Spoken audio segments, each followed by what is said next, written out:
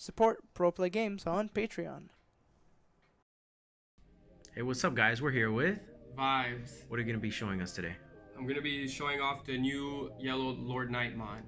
Alrighty. And just um, we, if you want to see the full explanation and all the choices in this deck and why we pick what we picked and the ratios, just make sure you go check out our Patreon. All the descriptions and the full explanation, breakdown, deck breakdown, all the the cheeky explanations will be on there for you guys to see and see our choices and our the logic on why we picked these cards.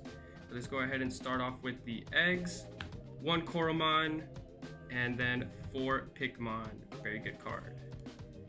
Now our rookies, one of Lucy, two Codes, two Pulse, two starter Patamon getting that memory, three Bushis to steal games, and the most cheeky card, four Star Mons. Very good card. Now for our champions, it's gonna be three unis, 6k blocker, very good this format. Then oops, four Turimons, one drop, and then four of the one drop blockers.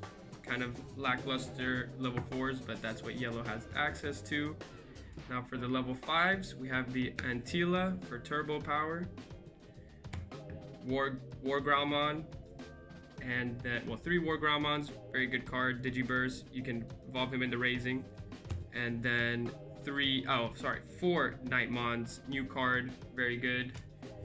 All these cards are just very good. Honestly, yellow is insane. Now for the level sixes, we have three Slash to not let your opponent have a board, and then the new boy for Lord Knightmon to spam out dudes and then two Valdurmons to just complement the strategy.